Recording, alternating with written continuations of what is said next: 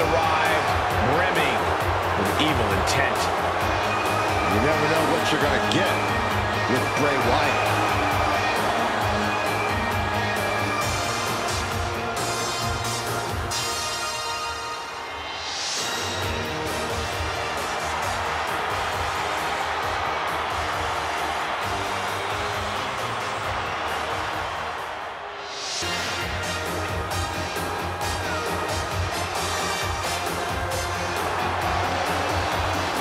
Some call it the showcase, others call it the grandest stage.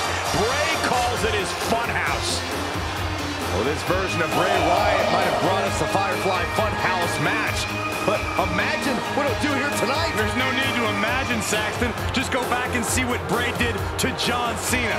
Cena has never been the same. That has to weigh on whoever shares the ring with Bray